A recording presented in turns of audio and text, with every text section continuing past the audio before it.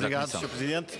Sr. Ministro, eu, eh, relativamente ao Distrito de Santarém, queria lhe colocar aqui algumas questões muito incisivas e muito concretas e que carecem, acima de tudo, um nível de responsabilidade e que dispensam um grau de demagogia que tem sido habitual nestas questões. E, portanto,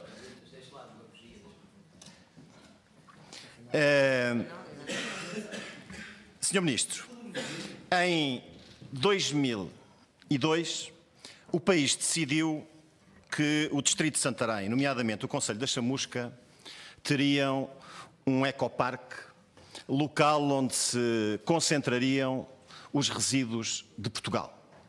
Estamos a falar de 100% dos resíduos perigosos e tóxicos de Portugal. 100%.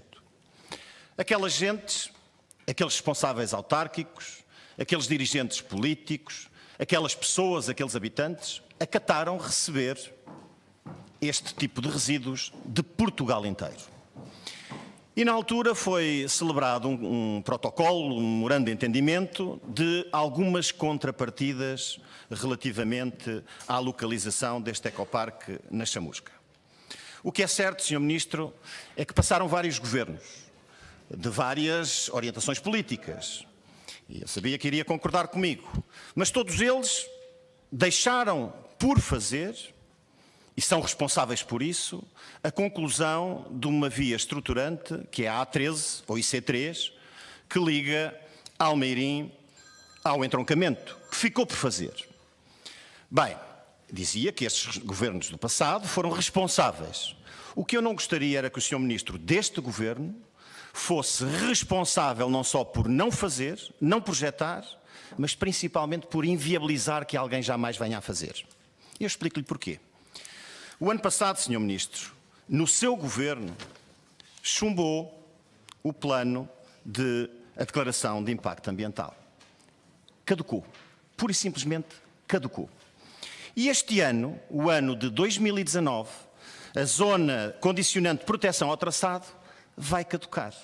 Ora bem, como nós não conseguimos encontrar esta obra em nenhum dos documentos do seu governo, ficamos muito preocupados. É sinal que o senhor não só não vai fazer, como vai inviabilizar que no futuro alguém venha a querer fazer. E esta era a primeira questão: o que é que está a pensar? E se tem pelo menos noção que isto estava neste ponto de situação. Os autarcas, que até são do seu partido político, já alertaram vezes sem conta uh, uh, que este estado dramático da situação.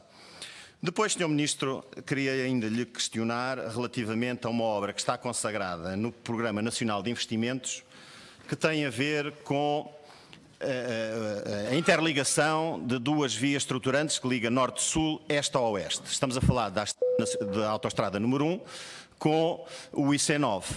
Bem, esta estrada uh, cruzam-se em Fátima, mas curiosamente não se interceptam uma com a outra.